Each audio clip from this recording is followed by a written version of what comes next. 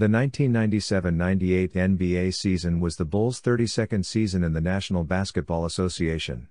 1. The Bulls entered the season as the two-time defending NBA champions, where they defeated the Utah Jazz in the 1997 NBA Finals in six games, winning their sixth NBA championship. During the offseason, the Bulls acquired Scott Burrell from the Golden State Warriors. Without All-Star forward Scottie Pippen for the first half of the season due to a back injury sustained from the 1997 NBA Finals, 2, the Bulls played around .500 with a 9-7 record in November. However, Pippen would eventually return as the Bulls posted a 13-game winning streak between March and April, as they finished first place in the Central Division with a 62-20 record. In the playoffs, the Bulls defeated the New Jersey Nets 3-0 in the first round, the Charlotte Hornets 4-1 in the semifinals, and then the Indiana Pacers 4-3 in the conference finals en route to advance to the NBA Finals. In the finals, they met the Utah Jazz in a rematch from last year's NBA Finals and just like last year, they would go on to defeat the Jazz in six games to win the championship. The championship was their sixth in eight years and completed the franchise's second three-peat. The season also saw Michael Jordan earn his fifth and final NBA Most Valuable Player award, while being selected for the 1998 NBA All-Star Game, where he also won his third and final All-Star Game MVP award. This was Jordan's last season as a Bull, as he announced his second retirement after it was over. 3. However, he did make a second comeback with the Washington Wizards in 2001. Following the season, Phil Jackson resigned as head coach, Pippen was traded to the Houston Rockets, rebound specialist Dennis Rodman left for the Los Angeles Lakers as a free agent, Luke Longley was dealt to the Phoenix Suns, Steve Kerr signed with the San Antonio Spurs, Burrell signed with the New Jersey Nets, and Jud Buechler signed with the Detroit Pistons. Because of this dismantling of the team, this was the last season for the Bulls dynasty that had headlined the NBA throughout the 1990s. What followed was a long rebuilding process between 1998 and 2004, and the Bulls did not return to the postseason until 2005. The story of this season was captured in ESPN's The Last Dance. It aired in April 2020, expedited due to the coronavirus pandemic. Legend, OT denotes a game decided in overtime. Bulls win series 4 2. This was the first time in the 1990s that the same two teams played each other in two consecutive finals.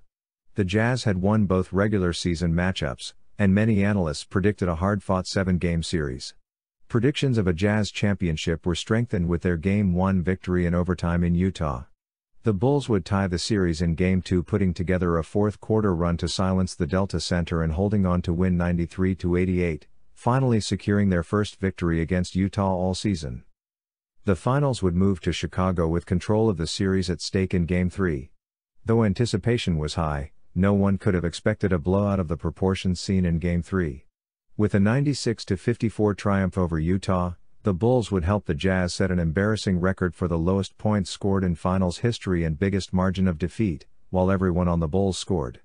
The Jazz would pull themselves together in Game 4 in a better attempt to tie the series, but lost 86 82.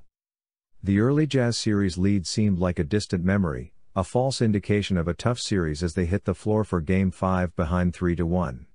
Chicago fans prepared for the last game they would host with the Jordan led Bulls of the 1990s. But any notions of a championship at the United Center would be snuffed out when Michael Jordan airballed an off balance three to the right of the basket, giving the Jazz a narrow 83 81 win. The play might have been for Toni Kukoc to shoot a three. With the series shifting back to Utah with a far more generous 3 2 Bulls advantage, the promise of another Chicago championship was not so certain. The Chicago Bulls had never let a finals series go to a Game 7. As they arrived at the Delta Center for Game 6, things didn't look good for the Bulls. Scottie Pippen's back gave out when he dunked the opening basket of the game and he was slowed down and held to just 8 points. The Jazz suffered a bad break when the referees incorrectly nullified a Howard Eisley three-pointer that, replays showed, was clearly released just before the 24-second clock expired. In the fourth quarter, the Bulls closed the gap as Michael Jordan tallied many of his 45 overall points. Then things got worse for Chicago when John Stockton hit a clutch three with 41.9 seconds left to give Utah an 86 83 lead as the Delta Center crowd roared happily. Down by three, the Bulls had one last chance to stay alive. Running perilously low on energy, It would be imperative for Chicago to win the series before the game went into OT, and also for the Bulls to avoid a Game 7 on the road when Scottie Pippen was so badly injured and their entire lineup was exhausted. After Michael Jordan made a layup to cut the Jazz lead to 1, the Bulls needed to stop the Jazz from scoring again. When John Stockton passed the ball to Karl Malone, Michael Jordan stole the ball away and dribbled to the front. Guarding him was Bryon Russell, one of the Jazz's best perimeter defenders.